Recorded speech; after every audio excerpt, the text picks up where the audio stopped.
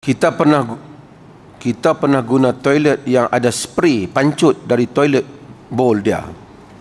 Adakah dikira bersih kalau tak gosok dubur? Dia tanya soalan.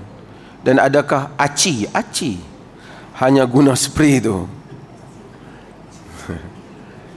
Yang pertama apabila dia nak membersihkan najis, dia menggunakan air yang bersih.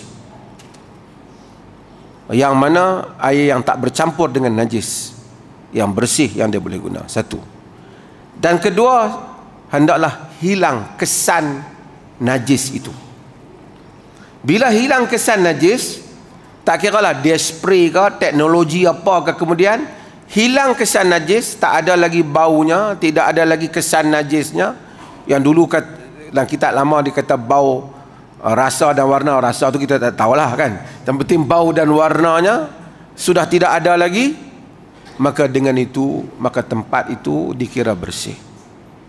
Ha? kadang-kadang orang ni dia teknologi macam-macam sangat.